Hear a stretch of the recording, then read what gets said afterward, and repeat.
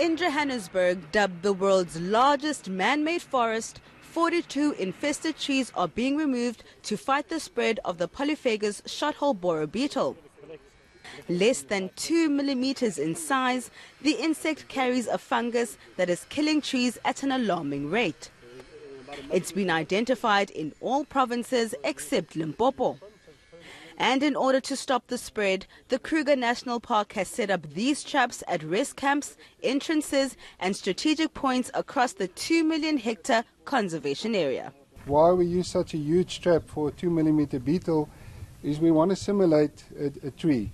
So the beetles will be attracted to the, the attractant which, which hangs uh, in the middle of the trap.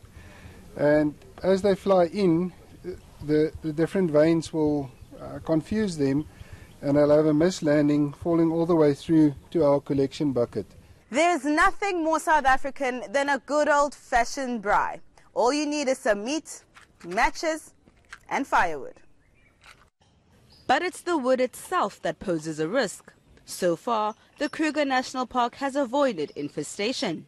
We also put out a list of species that wood could be used in the park, specifically our indigenous species that may be used if certain criteria are met, and then invasive species that can be brought into the Kruger National Park. But when this beetle was discovered, uh, one of the species that we did allow was black wattle, and we've now taken that off the list. So we do not want uh, black wattle as a form of firewood being sold in the Kruger National Park. Guests will still be allowed to bring their own firewood to the park, but they're being urged to be mindful of what they're using.